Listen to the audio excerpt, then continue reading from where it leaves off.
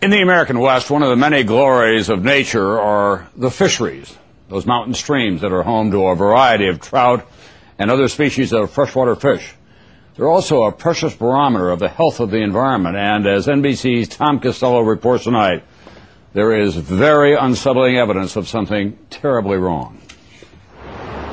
In Colorado's rivers and streams, a waist-deep ritual of the season. He was down on the bottom. Using electric currents to stun native fish to the surface where they're measured and checked. But it's what they discovered in the white suckerfish that's got even veteran scientists concerned. I've done a lot of studies throughout my career, which extended back to 1973. This is the very first time that what I found scared me. This fish has characteristics of both males and females. And scientists have found lots of them in three Colorado rivers, all of them downstream from sewage treatment plants. In the Boulder Creek, female white suckers outnumbered males 5 to 1. And 50% of the males also had female sex tissue. The cause? Researchers say there's too much estrogen in the water, the natural female hormone that is found in every sewer system. But in addition, certain chemical compounds in detergents and soaps can mimic estrogen. Barbara Biggs of Denver's largest sewage plant says most of the nation's wastewater plants simply can't remove all the estrogen in the water.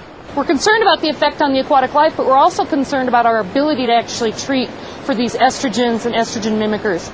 Estrogen mimickers are believed to be caused by chemicals called nonylphenols, found in everything from paints and rubber to cosmetics and plastics. Considered a possible cause of kidney, eye, liver, and reproductive problems, they've been banned in much of Europe and are under review in Canada. But still common here and flowing out of sewage plants and into America's rivers.